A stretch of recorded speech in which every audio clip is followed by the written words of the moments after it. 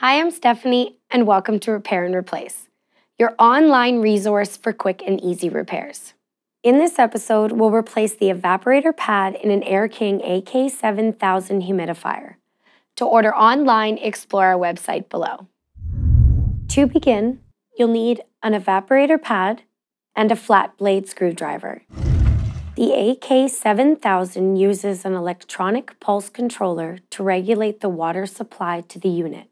When the humidistat calls for humidity, the solenoid valve will open to disperse water over the entire pad. As air flows over the pad, it picks up moisture and is distributed around your home by your furnace.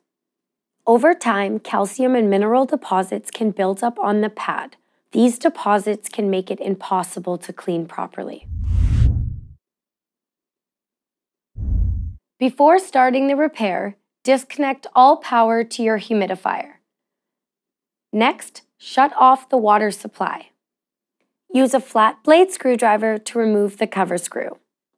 Now pull off the humidifier cover. Disconnect the water supply tube. Now slide out the pad assembly.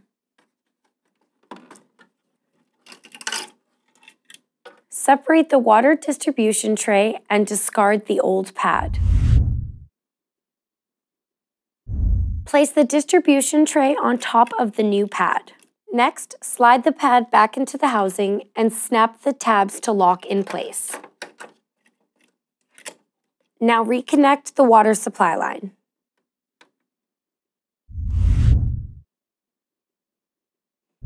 Replace the cover